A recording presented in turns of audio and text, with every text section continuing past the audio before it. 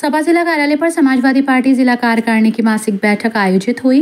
बैठक में 27 अक्टूबर से 9 दिसंबर तक चलने वाले मतदाता सूची का विशेष संक्षिप्त पुनरीक्षण अभियान में विधानसभा अध्यक्ष, ब्लॉक अध्यक्ष, नगर अध्यक्ष, पार्टी के समस्त पदाधिकारियों से कहा गया कि वो मतदाता सूची में दर्ज एक एक नाम का घर घर जाकर सत्यापन करें, क्योंकि आगामी लोकसभा चुनाव में ज़्यादा समय नहीं बचा। इसलिए सभी कार्यकर्ताओं और पार्टी के पदाधिकारियों को अभी से ही आगामी लोकसभा चुनाव की तैयारी में जुटना है। बूथों पर यह भी चेक करें कि किस मतदाता का नाम वोटर लिस्ट में काट दिया गया है और किस नाम को जोड़ दिया गया?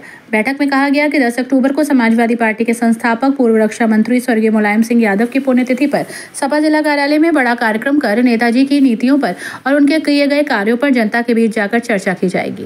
बैठक का संचालन जिला महासचिव मुदस्सिर खान ने किया। बैठक में देहात विधायक हाजी नासिर कुरैशी, अतहर हुसैन अंसारी, वेद प्रकाश सैनी, लखान सिंह सैनी, गुलजार नाजिम सैफी, अहमद इफ्तिखार अली, जयपाल सिंह सैनी, प्रेम बाबू वाल्मीकि नाग भारती संजीव चौधरी, मोहम्मद फरूफ फुरकान अली, शहजाद सिद्दीकी, राहुल यादव अतिकुर रहमान वाजिद पाशा, राकेश दानव, नवीन यादव, गौरव कुमार, शाकिर यानी वीर सिंह यादव, मोइनुद्दीन फिरसाद, कादिर खान, एहसान पाशा, विनोद विकल, ब्रजलाल जाटव, वीरेंद्र सिंह जाटव आदि सपा कार्यकर्ता मौजूद थे।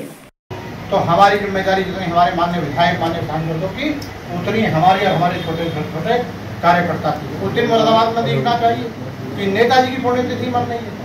झंडा पोस्टर से भी ये पटा होना चाहिए। तो ये सब ज़िम्मेदारी मेरी भी है और आपकी भी है और छोटे छोटे छोटे कार्यकर्ता अभी गुलजार भाई ने बात और कही थी, मैं इनकी बात से सौ परसेंट सहमत हूँ। हम बैठ के बात करेंगे और शुरुआत करेंगे स्वास्थ्य विभाग से ही। शुरुआत करेंगे धरना प्रदर्शन की बात करेंगे। और हम जब तक और हम जब तक नहीं हटेंगे जब तक हम अपनी मांगे नहीं मनवा लेंगे और गाँव गाँव इलाज नहीं हो जाएगा।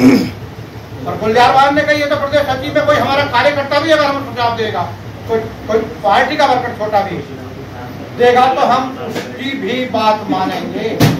आप बताइए पार्टी इसमें क्या होता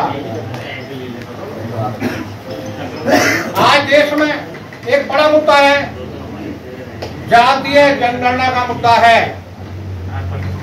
ये आवाज़ उठी बिहार से। हमारे नेता आदरणीय अखिलेश यादव साहब ने भी कहा कि जातीय जनगणना होनी चाहिए। इसका मतलब ये है, जिसको जितना हक है, उसको इतना हिस्सा मिलना चाहिए।